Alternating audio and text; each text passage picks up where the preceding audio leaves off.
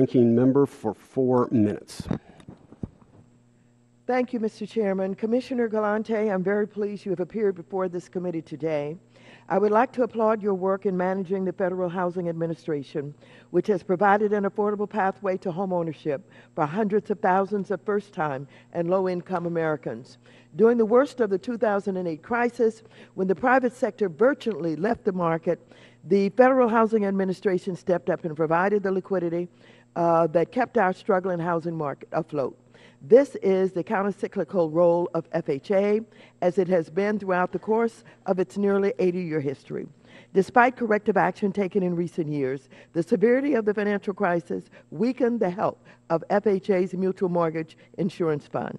Recently, FHA announced a number of changes designed to shore up its finances. Since that time, FHA has raised premiums on multiple occasions, strengthened down payment and credit requirements, enhanced underwriting, and increased enforcement measures. In addition, FHA recently issued mortgagee letters for the Home Equity Conversion Mortgage Program to help stabilize a segment of FHA's business, which has accounted for the majority of FHA's losses. As a result of these reforms, FHA's last two books for business, 2011 through 2012, have been the strongest in the administration's history. Moreover, the 2013 Book of Business is estimated to continue that trend.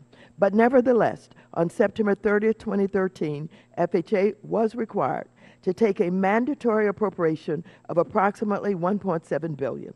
Although this one-time transfer of funds from the Treasury is legally necessary, it's important to note that FHA is far from bankrupt. In fact, the FHA holds over 48 billion in cash on hand, and the agency continues to generate revenue.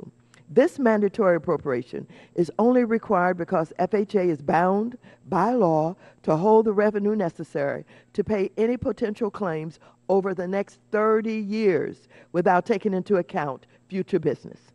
Moreover, the calculation used to determine whether a mandatory appropriation is required is completely outdated based on assumptions about loan performance and recoveries made in December 2012.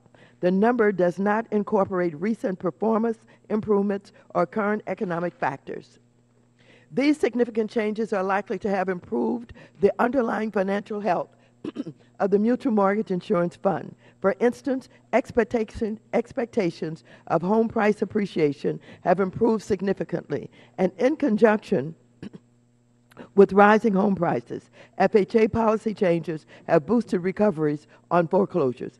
HUD has implemented measures including a 10 basis point guarantee fee hike earlier this year and more aggressive pursuit of putbacks on delinquent loans to shore up the Mutual Mortgage Insurance Fund. Higher interest rates are likely to reflect positively on the fund as existing borrowers prepay more slowly and pay mortgage insurance premiums for longer periods. As a result, this accounting transfer does not reflect an up-to-date view of the Mutual Mortgage Insurance Fund's performance, its long-term fiscal health, or its current cash position. Above all, we must strive to have a healthy, viable FHA that continue to facilitate home ownership for first-time and low-income homebuyers while standing ready in the unfortunate event of another housing downturn. I look forward to your testimony today. I yield back the balance of my time. Chair now.